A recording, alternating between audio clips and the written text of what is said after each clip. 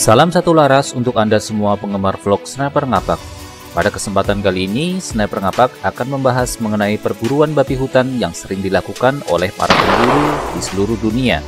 Sebagian besar babi hutan merupakan suatu hama yang banyak ditemui di berbagai negara. Kebanyakan babi hutan menyerang lahan pertanian dan perkebunan, dikarenakan di sanalah merupakan makanan favorit mereka.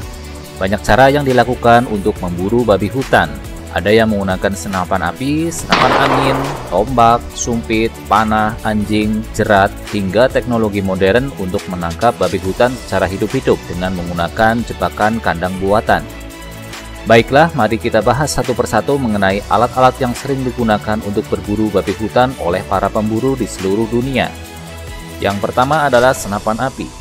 Bagi Anda pecinta hobi menembak, pastinya tak asing lagi jika berburu hama babi hutan menggunakan senapan api, karena senjata ini cukup ampuh untuk menumbangkan hama babi hutan, baik dari jarak dekat maupun dari jarak jauh. Tinggal Anda menyesuaikan saja jenis senapannya. Perburuan babi hutan menggunakan senapan bisa dilakukan jarak dekat dengan menggunakan senapan shotgun, senapan otomatis, maupun pistol. Perburuan ini cenderung mengambil resiko tinggi, dikarenakan bisa saja babi hutan menyerang para pemburu ketika tembakan sudah dilesatkan tapi tidak mengenai titik vital babi hutan. Sedangkan untuk perburuan babi hutan jarak jauh bisa dilakukan oleh para pemburu yang sudah profesional dengan menggunakan senapan kaliber besar yang mempunyai spesifikasi dan akurasi tingkat tinggi dengan didukung teleskop yang mumpuni, sehingga target yang dibidik biasanya dari ratusan meter hingga lebih dari satu kilometer. Bagi para pemburu hama babi hutan yang menggunakan senapan, mereka juga lebih memilih waktu yang tepat untuk berburu. Biasanya waktu dilakukan pada saat siang hari dan malam hari. Jika pada siang hari, pemburu hanya menggunakan senapan dan teleskop untuk berburu, maka pada malam hari pun mereka menggunakan senapan dan teleskop untuk berburu. Bedanya adalah teleskop yang mereka gunakan biasanya menggunakan tipe kamera night vision, dan apabila pemburu profesional dan memiliki budget lebih, mereka akan menggunakan kamera termal untuk berburu. Karena kamera termal sangat membantu dalam berburu malam. Kamera ini dapat mendeteksi suhu tubuh target babi hutan hingga jarak ratusan meter, ada juga perburuan babi hutan menggunakan senapan yang dilakukan dengan menggunakan helikopter. Dikarenakan lahan perburuan yang cukup luas dan lokasi yang susah dijangkau menggunakan kendaraan maupun jalan kaki. Perburuan ini merupakan tantangan terbesar karena penembak diuji dengan skill aiming tingkat dewa. Senjata selanjutnya adalah senapan angin. Beralih perburuan babi hutan dengan menggunakan senapan angin. Perburuan babi hutan dengan menggunakan senapan angin memang banyak dilakukan, tetapi para pemburu diharuskan mengupgrade senapan dengan menggunakan tekanan angin dan menggunakan peluru kaliber besar, sehingga target babi hutan yang dibidik bagian titik vital bisa langsung tumbang di tempat tanpa kabur ke semak-semak. Walaupun masih ada yang menggunakan kaliber kecil seperti kaliber 4,5 untuk menembak babi hutan, tetapi tingkat kematiannya cukup rendah sehingga mereka tidak disarankan untuk menggunakan kaliber kecil untuk berburu babi hutan. Senjata yang lain adalah tombak. Perburuan babi hutan yang banyak dilakukan oleh para pemburu di Afrika adalah menggunakan tombak. Berburu babi hutan menggunakan tombak pastinya dilakukan jarak dekat karena pemburu harus melemparkan tombak dengan sekuat tenaga agar tombak bisa menembus bagian titik vital target buruan.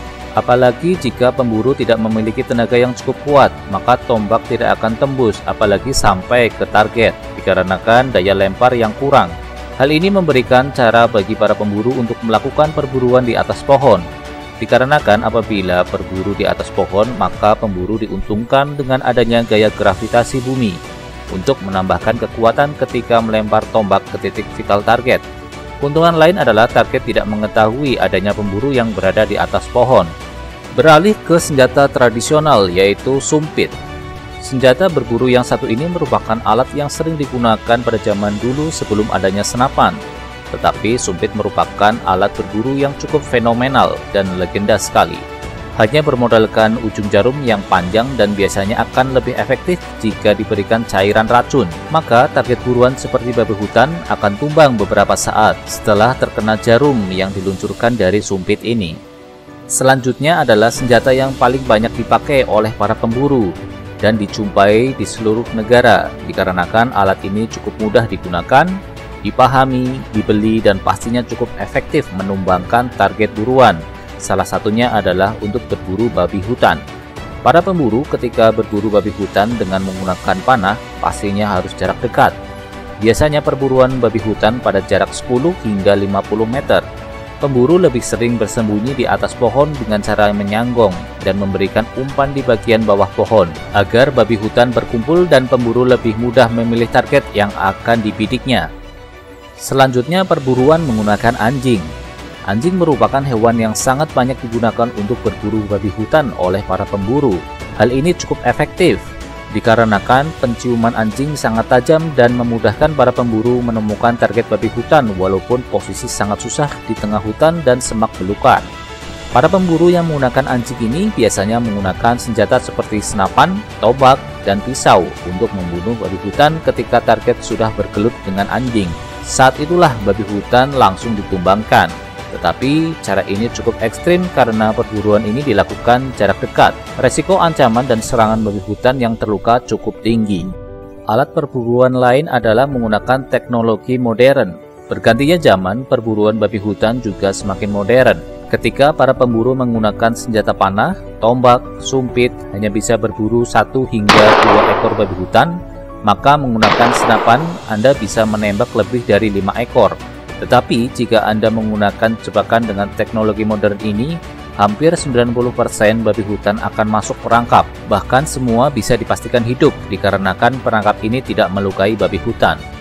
Pemburu tidak perlu berada di lokasi perburuan karena alat ini dilengkapi dengan CCTV dan remote control, sehingga pemburu bisa memantau dari jarak jauh sambil duduk, ngobrol, dan ngopi. Ketika target babi hutan sudah berkumpul, tinggal tekan tombol saja, maka jebakan atau pintu akan tertutup. Babi hutan pun terperangkap di dalam kandang jebakan tersebut.